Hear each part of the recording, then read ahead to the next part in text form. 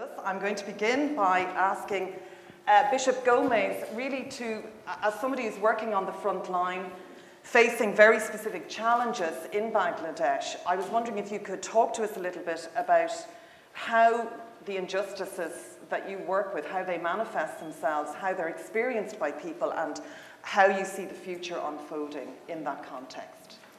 So over to you, if you'd like to use that microphone there. I'm most happy to be here among you, and we can see that we all have great interest in this matter. It, is, it has its technological aspects, and now it seems in this session we enter into its moral, our human aspects as well, spiritual aspects, heart aspects. And uh, surely climate change adversities are there. Climate changes have always been there. And uh, we are now called upon elements that have been caused by humanity itself, as has been mentioned. So there is kind of a moral perspective of the nature itself and our activities. That's one aspect. We must uh, take uh, the gifts of the earth seriously, responsibly, as human beings. And then there is a second aspect that is that uh, certain industrialized elite activities are disturbing the masses of peoples, like in Bangladesh. But I also would like to consider, keep in mind, uh, so many other nations, peoples all over the world who are in the same situation as people in Bangladesh. In uh, Bangladesh perspective, I might try to mention four aspects of uh, where climate change adversities affect our people. One is that the land itself is uh, delta land, silting of uh, our major rivers. So it is a land that came out of the sea, so to say. And then in the climate change adverse situation now, there is a question that we have to return much of it into the sea again. And that becomes kind of a, you know, a historical failure, geographical failure, let us say. The geography of the nation is that it is fertile land from the sea itself, and we must keep it that way. We must not let it go under sea. So I think that question is to be considered also in this climate change adverse uh, results. Second is that it is a very agricultural land, and the whole, uh, I think, uh, simplicity of life of the people, our culture, our literature, music, etc., whole uh, atmosphere of life of the common people, who are many in our country, it is tied up to the situation of the land itself, vegetation, agriculture, all this. And uh, uh, climate change will affect our agricultural activity and resources. Uh, things have been mentioned already, we have seen that. Our rice crop, uh, major crop, our labor, farmers all involved in that sector, their situations, labor, etc., will be affected in climate change adverse uh, results. Uh, third point is, of course, pollution uh, because of climate change, because of also industrialization that is coming into our uh, country also in kind of uncontrolled fashion or modern economies uh, tending to that line. So agriculture, uh, pollutions are also there. And the fourth, of course, is Bangladesh is a very densely populated country, and uh, a lot of people may be displaced, become homeless if so much land goes underwater and people lose their agricultural activity, they become also jobless. They have to move away. And in a densely populated nation, it will become a very a difficult task to adjust that displaced people. So these are the added burdens that come. When we talk about the difficulties of our people, they are already suffer a lot, uh, but they have managed to live. People help us also, so there are some positive results in that.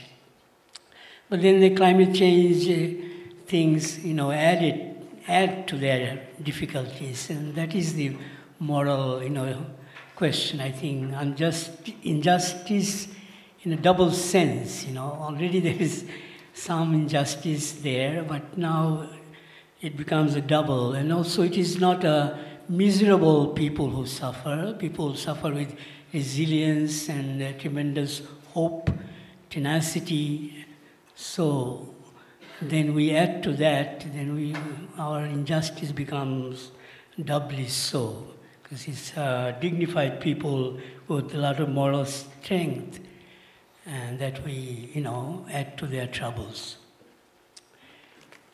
We would like to consider also, I think we all surely, we call Bangladesh a poor country, there is poverty, there is poverty that is unjust negative, which we must uh, try to get rid of, and we all wish to do that.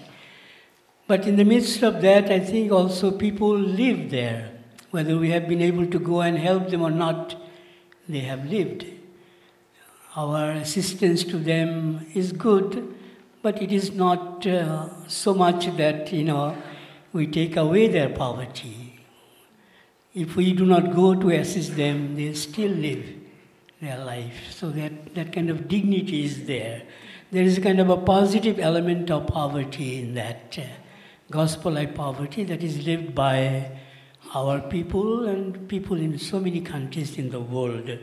We should recognize, as we consider the question of injustice, we should also recognize the positive aspects of people living with dignity in their lives. Uh, so we consider that.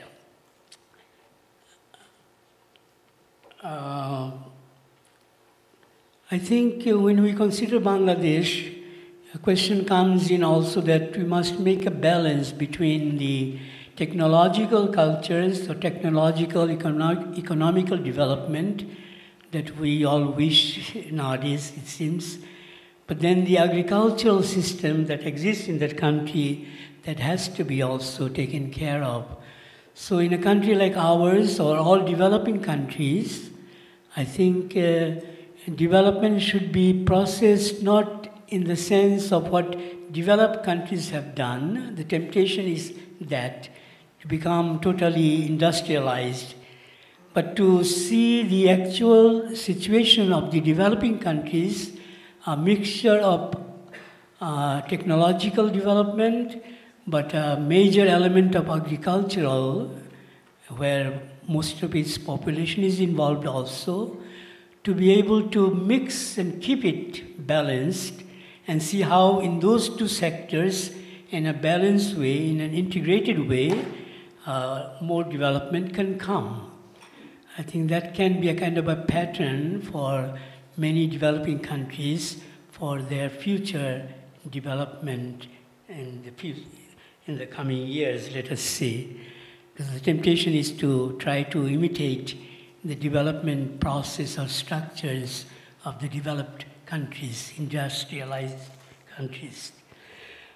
And uh, then, uh, one more minute, okay, I shall take that then. Uh, I think in the question of uh, people of so many nations who are poor and we try to take care of them, uh, maybe we have to, as we, I, I have tried to indicate a bit, the positive elements of their life. Nowadays, we think, give so much value to democracy, which is more political, but there is a kind of a demometric way of approaching, so cultural way of approaching the life of simple peoples. These values have to be sustained, I think. The elite industrial uh, technological development is there, but there is a widespread uh, agricultural nature's way of life. And that is the demo, demometric values, I think. And we must read uh, into the lives of simple people, simple communities, and try to see what are the values there and uh, kind of confirm those values. We kind of like to be caught up with elite rich uh, structures or markets of the elite people, but there is a market value of the poor people as well. They have their market, their economy as well, and we must try to confirm that and uh, assist that to develop. So these would be some concerns about our country and peoples of the